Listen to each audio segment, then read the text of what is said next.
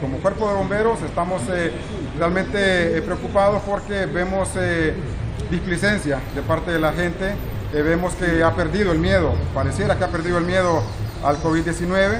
Recordemos que de todos es sabido que la sala de emergencia del Hospital San Francisco, el área de COVID está colapsada, pero las personas vemos bastante indiferencia, vemos muchas personas que no utilizan la mascarilla buconasal, vemos mucha aglomeración de personas y esto es preocupante pues porque después de este periodo de Semana Santa todos los eh, centros hospitalarios están esperando eh, un ingreso eh, o una atención masiva de personas con sintomatología de COVID. Esto es preocupante, así que hacemos el llamado a la población para que cumpla todas las medidas de bioseguridad y así evitemos los contagios. Relacionado al feriado de Semana Santa, hasta los momentos acá en Juticalpa no hemos tenido ningún reporte de accidentes, no hemos tenido ningún reporte de fallecimientos. Esperemos que así continuemos, ¿verdad?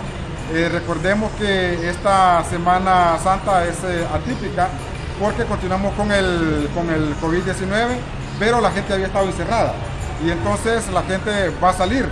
Eh, va a ser difícil contener a las, a las personas, entonces esperemos que se tomen todas las medidas de precaución y todas las medidas de bioseguridad por parte de, los veraneantes para que no vayan a haber hechos que lamentar.